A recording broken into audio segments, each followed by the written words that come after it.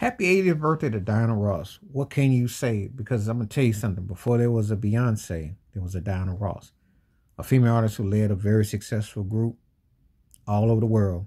Household name, classic songs. Well, Beyonce, I'm not trying to do sing on no disc, but I'm just using it as a reference for people coming up along now who hold Sid Arson to the same view.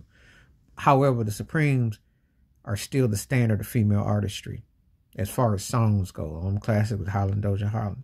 And Diana Ross was the center, was the front and center leader of the said group. Then her solo career, very versatile artistry. Three movies, including an Oscar nominated performance in Lady Sings the Blues. And TV shows, specials, TV movie with Brandy, etc. Did all kinds of projects. Many albums, many collaborations, collaborations with Marvin Gaye, work with Ashford and Simpson, work with Chic, you know, upside down, what I call the side chick anthem. She had all kinds of avenues and songs and memories and versatility. Covered a wide range, you know, and still one of the baddest live performers to this day.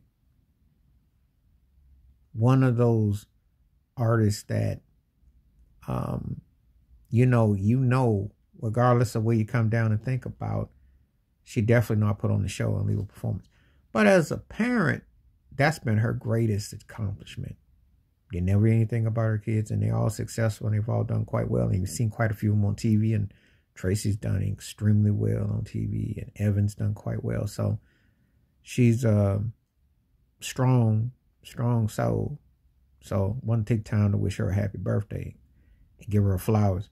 So often than not, especially with our black entertainers, people move on and don't give them their due. But it's important to remember the ones that paved the way and opened up a lot of doors. And Diana Ross was definitely one of them that did that. So appreciate and put some respect by her name. Please hit like, subscribe, welcome thoughts, comments. And I do respond. Thank you. Wash your hands. Keep your mind clear. Watch out for another shit if you like my piece.